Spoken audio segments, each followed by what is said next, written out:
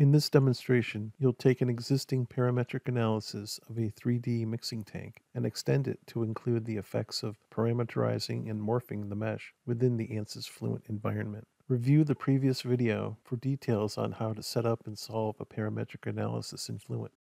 In this video, we'll define the mesh morphing process so that we can show how the mesh can be deformed to further enhance the original parametric analysis. Mesh morphing allows for geometry changes without having to revisit the CAD geometry or repeat the meshing process. We'll start Fluent in 3D with four processors. In the Open Fluent session, we'll read in an existing mixing tank case and data file that already contains the parametric settings.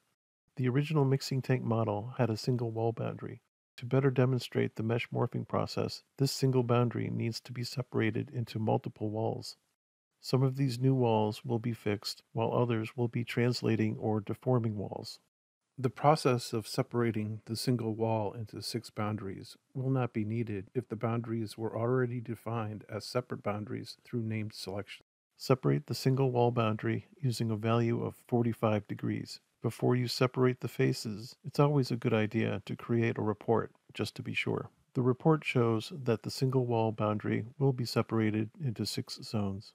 In this case, wall boundaries have been assigned meaningful names so that they can be easily identified when defining mesh morphing constraints. We'll define the mesh morphing region by specifying the region extents.